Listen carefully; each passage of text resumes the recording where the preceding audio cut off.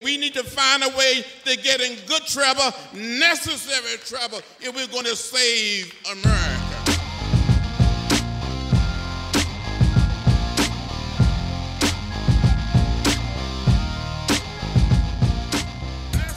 This is Paige. Welcome to the Necessary Trouble Show. Here's your host, my dad, Russell Fugett. Thanks, Paige. Welcome back to the Necessary Trouble Show. When you look at the Necessary Trouble Show logo, you'll notice the fist going up on the end of the logo. And this represents uh, Tommie Smith and John Carlos from the 1968 Olympics raising their fist on the medal stand. For those of you who know their story, you know that they were penalized when they returned back here to the States and their lives were changed forever. In the modern time, we have Gwen Berry, who's joining us today to tell her story. Just this past year in 2019, she uh, was on the medal stand in Lima, Peru. And during the national anthem, she chose to raise her fist in solidarity with the Black Lives Matter movement. And today she's going to share about her story and what's happened since that time. Gwen, thanks for joining us today. Thank you guys for having me. I appreciate it. Um, I'm ecstatic. I'm I'm just happy to be here. Well, I'm happy to have your voice uh, in this space on the Necessary Trouble show. Gwen, once you left the medal stand in that moment, in Lima. Tell us what happened. Um, once I left the medal stand, I feel like I didn't know um what my stance meant. Um, I can honestly say that. Um, I mm. didn't know how many people would see it. I didn't know what it would mean to people, and I didn't know, you know, the outcome of, you know, just the outcome of emotions, uh, good and bad. I didn't know what would come of it and you know immediately i was punished you know um, i had to serve a suspension for 12 months. And you know other than that all, everything that came with it was just amazing. Um, like hmm. i said good and bad. It was a, it was amazing. So i'm glad i'm glad i did it. I'm glad i took my stance. Well thank you for having the, the courage to do so. And you're a hero in, in my book for, for having that courage now, of course, since that time, um, obviously the, the Washington Post and New York Times did a couple articles and stories about you, which were very insightful and was how I personally learned to hear and learn about your story. I know in those stories we learned that uh, you were a Nike sponsor athlete, and since that time they dropped you, but um, you've been now become the first sponsored athlete by Color of Change. Tell us about how that happened in, in terms of how Nike dropping you, and then how you connected with Color of Change, and what that relationship will yield for you going forward. Well, um, Nike dropping me was again just like uh, the USA Track and Field Foundation. It was just a phone call, you know. They called me and just told me that they didn't want to continue with me for the next year, and that was that. That was literally the conversation. We don't want to continue. Have a nice day. Um, same thing with the USA Track and Field Foundation. Um, they called me, they scolded me, they told me that I should never do that again. That they don't, they do not support. They did not support what I did and the stance I took on the podium um, and then they defunded me. So I think with that came, you know, I, I was kind of, you know, upset about that. I was sad about that. So I remember um, the up and coming months, you know, every all the sponsors and all the major corporations after the death of George Floyd, they were trying to come out with these statements saying, you know, we support Black Lives Matter, we support the movement, we see what's going on. Yet they had dropped the very athlete who made a stance when it wasn't popular. So I really um I went back and forth with the foundation. I kind of, you know, took some jabs at Nike and then I think um with my receipts and with my proof that I was actually defunded and actually dropped from these couple corporations literally 8 8 months before, um I think Color of Change saw that and it was just like, "Hold on, wait a minute. This athlete was literally dropped 8 months before all of this happened and these companies have the audacity to say that they support these athletes like it's just hypocrisy. So I think they reached out to me. Um, they heard my story and they wanted to do everything to help me in my pursuit of becoming um, Olympic champion for Tokyo 2021. So Gwen, how is being uh, defunded by your sponsors uh, and, and, even being suspended temporarily impacted your ability to train and prepare for 2021's Olympics? Oh, it impacted me um, pretty tremendously. You know, funding for Olympic athletes has always been scarce. Everybody always believes that Olympic athletes are rich or millionaires, and that's totally not the case. Olympic athletes, the reason why we can train and we, the only way we are funded is through sponsorship. We are not paid. It is not a business. It is basically volunteer work, honestly. You volunteer to represent your country, to show and prove that your country is the best country in the world. So losing my sponsors, you know, I wasn't able to pay my bills. I'm not able to take care of my family. You know, I'm not able to eat. So, you know, if I'm worried about those things or I have to work a job to fulfill those needs, you know, I'm working and not training. I'm working and not recovering. You know, I'm I'm stressing about having to pay bills and I'm not thinking about what I need to do to master my event. Where my competition, they don't have to worry about those things. So being defunded by any sponsor is always horrible for any Olympic athlete. It can ruin their career. Right. So with that being said, I know you you shared that you're starting uh, athlete fund with Color of Change. Again, you're you and Color of Change are pioneering this work. Tell us about that that program. So with the athlete fund for Color of Change, because I was an athlete that was defunded, um, one thing that Color of Change is helping me do, they're trying to help me get more sponsorship opportunities so that I am able to pay my bills and able to focus on training. However, we are also trying to create an athlete fund. With this athlete fund, it is for athletes who do decide to protest or who do decide to use their platforms to make change or to bring awareness to things or social issues. And um, if they do lose sponsorship or funding, we're trying to help them with that.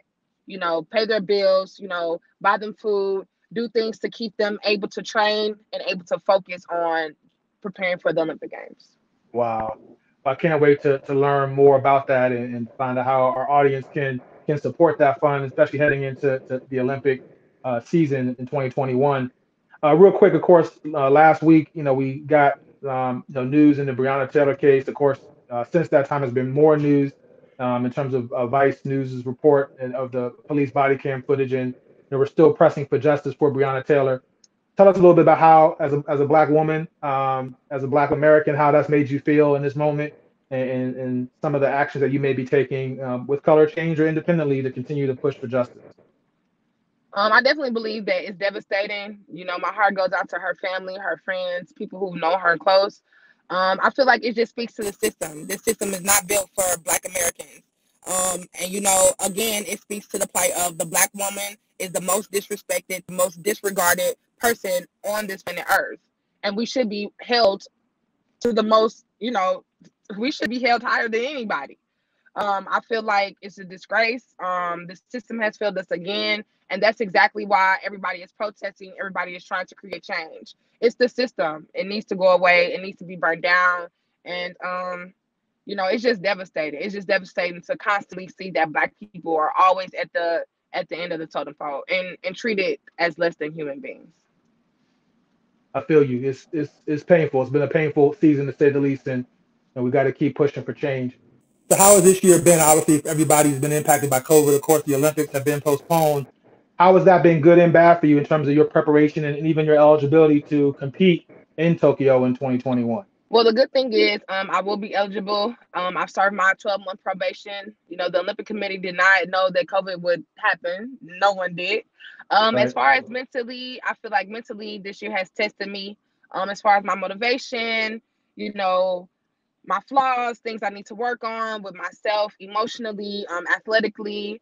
And you know, I think it's hard for everybody because we we don't have anything to quote unquote look forward to. So that really hurts athletes mentally. Of course, it's hurt me financially because I have no competition. So I really don't have a job. Um, I have no income.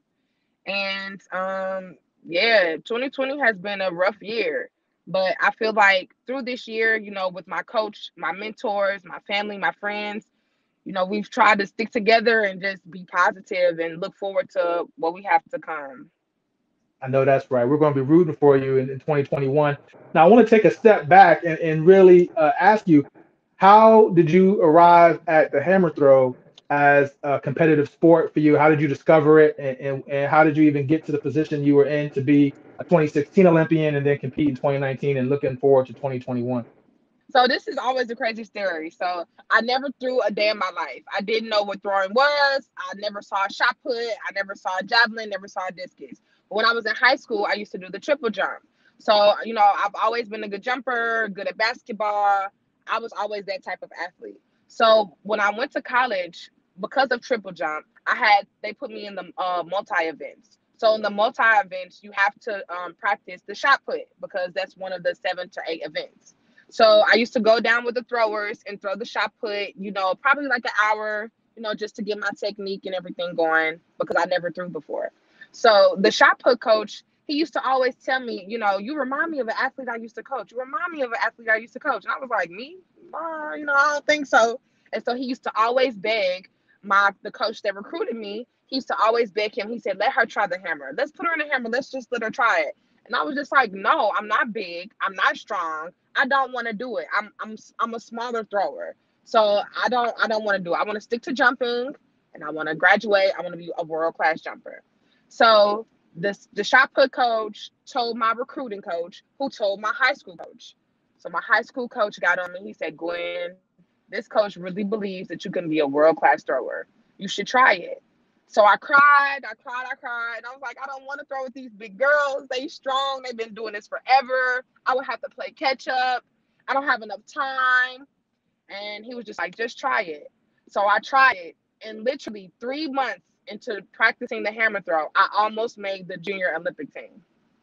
So I caught on to it that fast. Wow. And just, you know, through repetition, through dedication, through persistence, and just making good decisions, you know, it allowed me to make the Olympic team. I just kept fighting, I just kept training, and I just kept working hard. That's an amazing story for our young athletes and our young women athletes to hear is, is, is being ready to do that, put in that work. How are, how are things looking for you for, for 2021? I know, I believe you were finished in 14th in, in 2016. I'm, I'm sure you know, it was, it was nice to have that experience, but I'm sure you want to mm-hmm. come home with that medal and bring it home. How, how are you feeling looking forward to, to next summer in Tokyo? Um, definitely. I feel like this year I have been training my butt off. I've done the hardest training I ever have in my life. I feel like, like my body is healthy right now. Um, me and my coach, we have changed my program. We are working on mastering this event. Okay, we are working on mastering so that I can be on the top of that podium. I know that's right. Well, we're going to be uh, excited to see you there. How can people connect with you and find you online and, and support you in the work you're doing with Color of Change? Um, you can find me on Color Change, so colorchange.org. Um, you can find me on Instagram and Twitter. My my handle is Miss MZ Berry Throws underscore. And I'm starting to create a new website. All of my friends and my teammates have been probing me and prodding me to create a website. So I will have a website up and running pretty soon. But Instagram, Twitter, that's what I'm on, and I would love the support.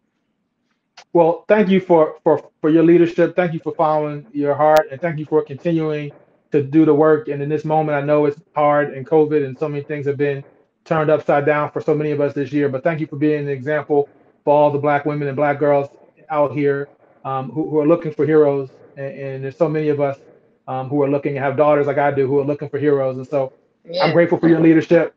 Gwen, again, yeah. thank you so much for, for taking the time, for pulling over and taking minutes out of your day to share your story with us on the Necessary Trouble Show. Thank you so much for having me.